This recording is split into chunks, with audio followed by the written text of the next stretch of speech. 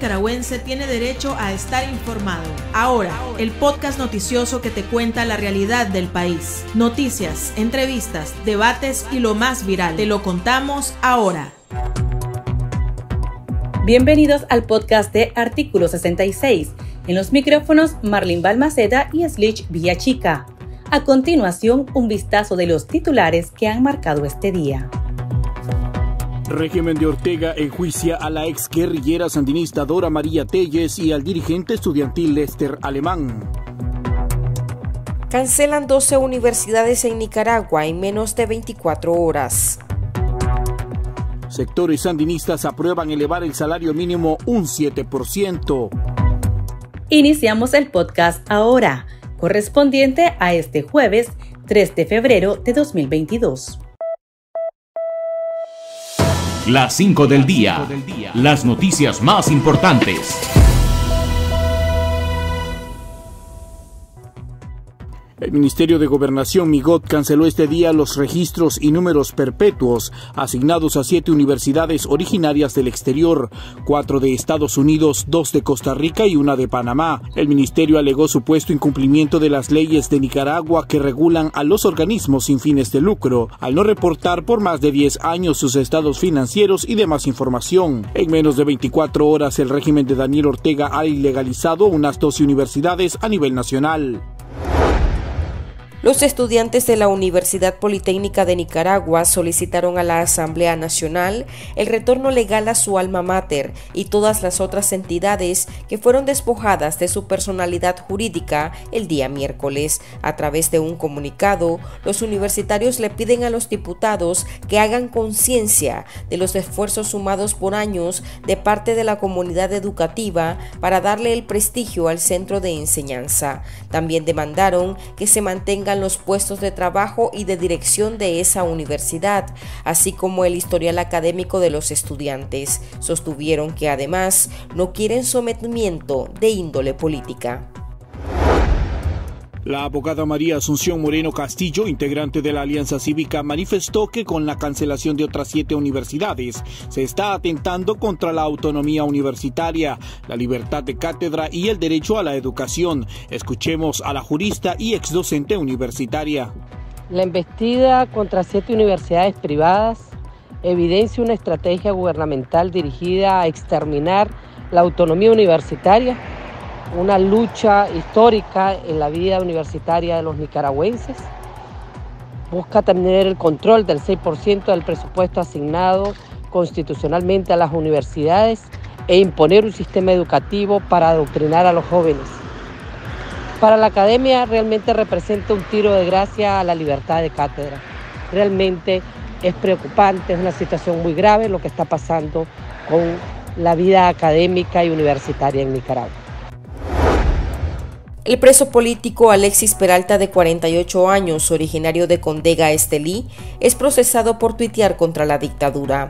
Peralta ha sido un crítico del régimen de Ortega y Murillo desde hace más de una década y según registros periodísticos, en 2011 le fue cancelado el canal 15 Condega TV, una frecuencia local en el departamento del norte del país. El ciudadano fue arrestado el 6 de noviembre de 2021 y bajo un arbitrario proceso judicial es señalado de violar la ley 1042, ley especial de ciberdelitos. Su juicio se estaría realizando el próximo miércoles 9 de febrero.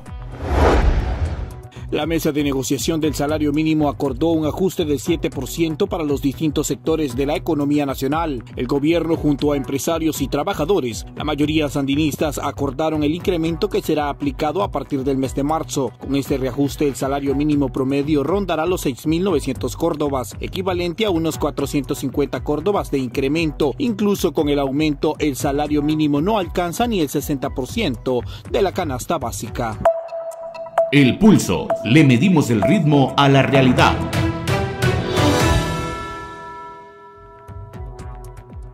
Los opositores y presos políticos Dora María Telles y Lester Alemán comparecieron este día ante la justicia del régimen de Daniel Ortega. La ex guerrillera sandinista, miembro de la organización Unión Democrática Renovadora UNAMOS, y el dirigente estudiantil de la Alianza Universitaria Nicaragüense AUN son acusados de supuesta conspiración para cometer menoscabo a la integridad nacional. Dora María, de 66 años, la comandante 2, luchó para que Daniel Ortega, el actual dictador de Nicaragua, fuera liberado durante la dictadura somocista, y ahora es él quien ordenó su cautiverio indefinido y la acusa de conspiración y traición a la patria, dos delitos inventados por el régimen para perseguir a los opositores.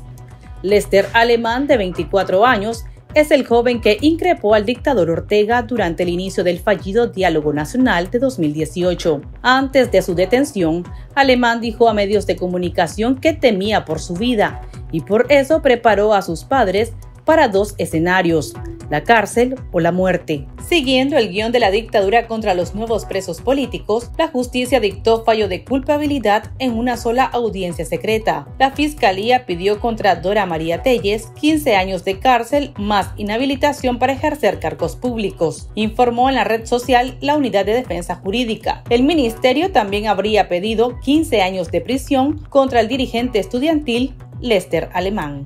Este día, nicaragüenses en Costa Rica realizaron un plantón por la libertad de todas las personas presas políticas. Escuchemos a Dulce María Porras Aguilar, directiva de UNAMOS.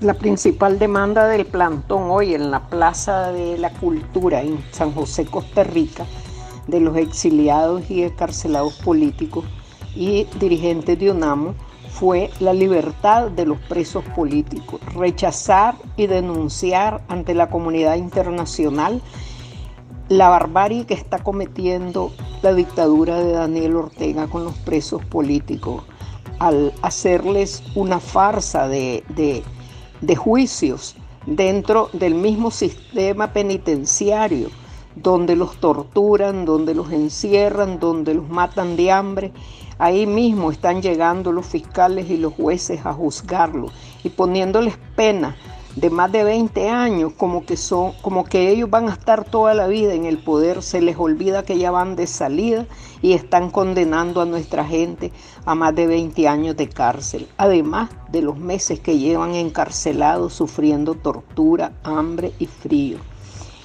La principal demanda del plantón es la libertad de los presos políticos, es que cesen esos juicios mentirosos, esos juicios que son una farsa, porque ellos no han cometido ningún delito. Esas mujeres que han sido juzgadas en estos días, ayer Ana Margarita y hoy Dora María, son defensoras de derechos humanos. Y Dora María es una gran luchadora conocida internacionalmente por su por plantarle cara a la dictadura, a, las dos dictaduras que hemos tenido durante estos 100 años, que es la de los Somozas y ahora la de Ortega. Esa es la Dora María y por eso la están castigando, por levantar su voz por los que no tienen voz. Eh, los juicios, los juicios a los opositores son una farsa, son una barbarie. Ellos no hayan que hacer para callar la voz del pueblo. Como ellos eran voces del pueblo, ahora los están castigando, encarcelándolo y no permitiéndoles ni siquiera el derecho a la defensa. Esto fue hoy, este plantón fue hoy, de 9 a, a 11 y media del día en la Plaza de la Cultura y vamos a continuar haciendo estas actividades mientras el régimen de Daniel Ortega sigue ensañándose con nuestra gente. Nosotros le pedimos a la comunidad internacional que vean con buenos ojos, que vuelvan a ver hacia Nicaragua, que en pleno siglo XXI están asesinando a esa gente, porque esa gente está raquítica, está en condiciones de campo de concentración. Esa es la condición carcelaria que les están dando a nuestra gente. Demandamos la libertad de todos los presos políticos, de todos, sin excepción en este caso por los que están siendo eh, enjuiciados en estos últimos días a partir del primero de este mes de febrero. Consultamos a nuestros lectores qué opinan sobre los juicios en contra de los dirigentes de la oposición, Dora María Telles y Lester Alemán, y qué opinan sobre las acusaciones por ciberdelito en el país. Escuchemos sus opiniones enviadas a nuestro WhatsApp. El chat abrimos los micrófonos a nuestros oyentes. Este gobierno ilegítimo quiere atornillarse en el poder y por eso no tiene, no quiere tener voces críticas. Pero justicia divina pronto vendrá. No hay mal quien que dure 100 años. Todas esas acusaciones son infundadas, son creadas por estos gamberros de la dictadura y entonces pues ese va a ser el, el, esquema a seguir con todos y cada uno de las personas que públicamente hacemos la voz o eh, pretendamos este, dar a conocer nuestras expresiones ante este régimen nefasto. Este se llama ridiculencia. Ridiculencia del Meclín y todos los seguidores. Ridiculencia. Esto que está pasando nos da una razón más por qué no debemos de descansar hasta que esto no cambie. Esto un día tiene que cambiar. Son juicios políticos montados por las principales instituciones represoras del régimen son mamarrachos jurídicos basados en leyes inconstitucionales. Por lo, tal, por lo tanto, los resultados de esos juicios no tienen ningún valor jurídico. En lo particular considero que son juicios ilegítimos, son juicios ilegales, ya que son inventados totalmente. Todos los más de 170 personas que se encuentran ahí secuestradas, es como lo estoy diciendo, secuestradas. Y los secuestros no son legales. Por tanto, deben ser puestos en libertad de manera inmediata sin ningún cargo no deben de estar ahí secuestrados. El secuestro más bien es un delito. Más bien deberían ser la familia Ortega Morillo que deberían de ser condenados con cadena perpetua incluso por cometer este delito de abuso de autoridad. No nos debemos amedrentar por todo lo que están haciendo. Los guerreros saben que nos sueltan su idea de que tenemos, queremos una Nicaragua libre, una Nicaragua de los nicaragüenses y con el Señor agarrado de su mano vamos a salir adelante. Todos estos supuestos delitos son una farsa totalmente del régimen de Daniel Ortega. Para estar al tanto del acontecer nacional y conocer las voces calificadas sobre la realidad nacional, ahora el podcast informativo sobre Nicaragua.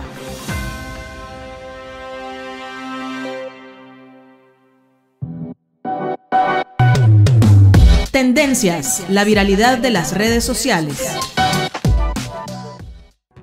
El obispo auxiliar de Managua, Monseñor Silvio Báez, afirmó que el régimen de Daniel Ortega pretende afianzar el poder irracional, someter al pueblo y robarle su futuro a la juventud al orientar el cierre de los centros de educación superior privados y otros ligados a la Iglesia Católica. El jerarca católico publicó en sus redes sociales que descuidar la calidad educativa, impedir el pensamiento crítico y apoderarse de centros universitarios son medios para reafirmar ese poder irracional.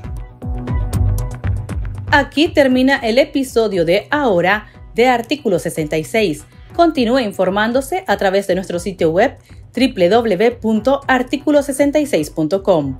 Síganos en nuestras redes sociales. Nos encuentra en Facebook, Twitter e Instagram y suscríbase a nuestro canal de YouTube. Hasta la próxima. La información veraz y de primera mano está ahora. ahora. No te perdás el podcast noticioso que te cuenta la realidad del país. Compartí y pasa la voz.